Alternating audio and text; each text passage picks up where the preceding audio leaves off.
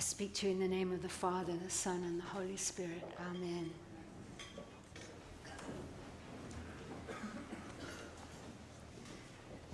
Just before I uh, uh, begin my sermon, I just want to take a moment to thank you all. I've, I've, seen enough comings and goings to know that you're up to some mischief later on. But I do want to just thank you all so much for welcoming Paul and me into this community, for Father Ben risking having me here at the front. And uh, it has been a real joy for us. When we came, we were not expecting to be moving quite so quickly, but um, life turns around sometimes. So you will probably see us here, but uh, at least for now, uh, this will probably be my last sermon for a while. Advent 4. Her name is Helen Berhane. She is a gospel singer from Eritrea. She is slight and softly spoken. Her crime was making a CD singing of her love for God. And when she refused to sign a document pledging to end all participation in evangelistic activities, she was thrown into jail. More specifically, she told those of us at the conference, she was thrown into a dirty shipping container in the desert. With only a small window, this was, she said, hell on earth. Very cold at night, very hot in the day. No provision for cleaning oneself, watery food that made the women sick. Her captors demanded that she deny her faith, but she'd been brought up in the church. She could not deny her Lord. She prayed three times a day and three times a night. She was not allowed a Bible, but the Word of God was within. And that is what sustained her and gave her the words of the song in those darkest of times. When she was released 32 months later after a prolonged international campaign, she was too weak to walk, but she carried the song with her and she sang it for us. We didn't understand the words, we did not need to. We heard it each in our own language the rise and fall of her voice, a song of love and thanksgiving for her Saviour, of praise and of hope despite her circumstances. Her name is Mary. She is a teenager. She's not in prison, but she lives under Caesar's sword, the oppressive rule of the Roman authorities. When the angel came to her, she said yes though surely she must have wondered what this would mean for her and how to explain it to her family, to her neighbors, to Joseph. When she heard of her, husband, of her cousin's unexpected and long desired pregnancy, she went to her. Was it then, at that meeting, that her hope, her trust was confirmed? For when Elizabeth heard Mary's greeting, her own child leapt in her womb. And Elizabeth, filled with the Holy Spirit, cried out, Blessed are you among women. Why has this happened to me? The mother of my Lord comes to me. They heard and recognized a language from deep within. John, later to be called John the Baptist, as yet an unborn child, knew and leapt for joy and his mother cried out her joyous words of blessing. Blessed is she who believed that there would be a fulfillment of what was spoken to her by the Lord. And Mary, Mary's heart leapt, leapt perhaps into song, a song of love, of praise, of hope, of the promise of freedom. A song of the ancients Words came to her from the Torah, from the Psalm of David, from Hannah's song of joy for her child. Mary sang out her praises to God.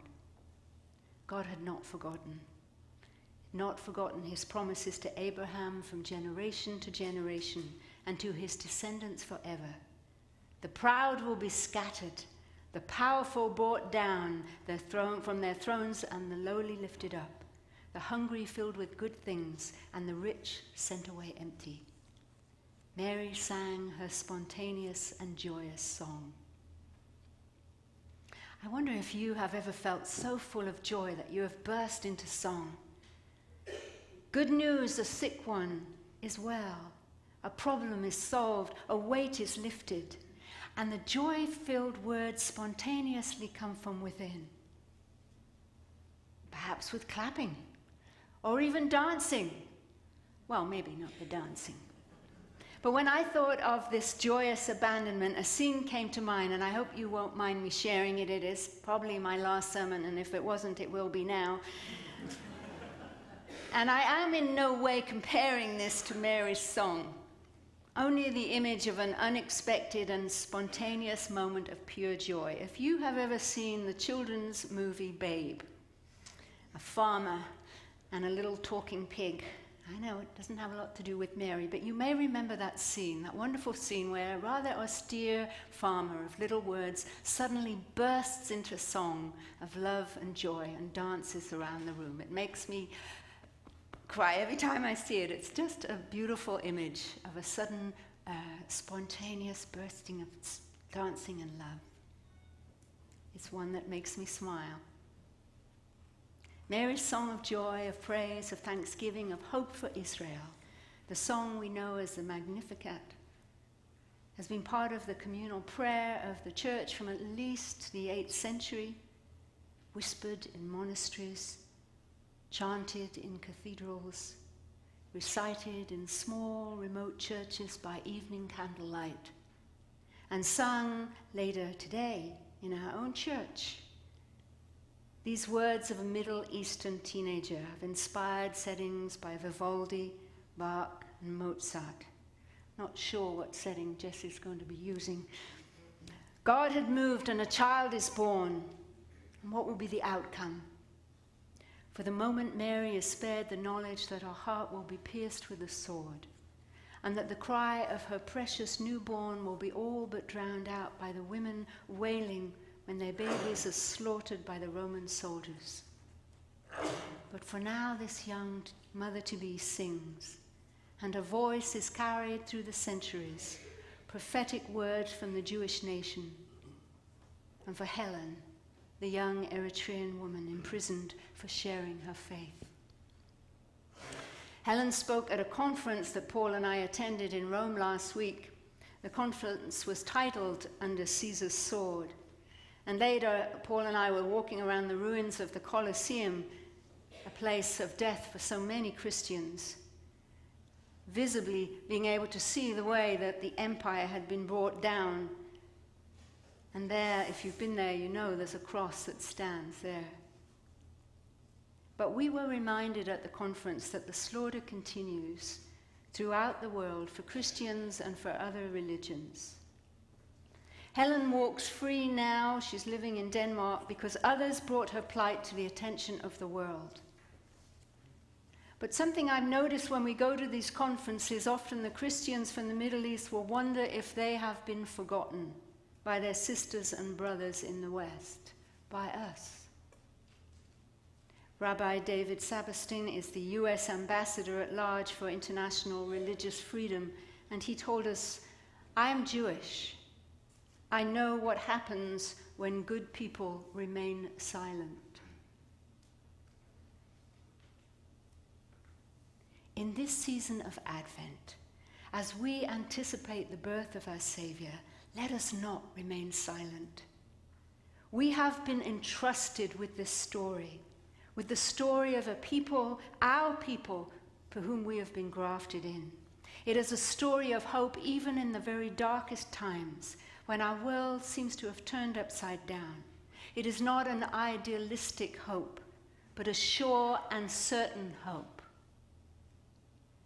And let us not be caught up in the trap of so called political correctness so that we dare not take the name of Jesus on our lips or bend the knee at the mention of his name.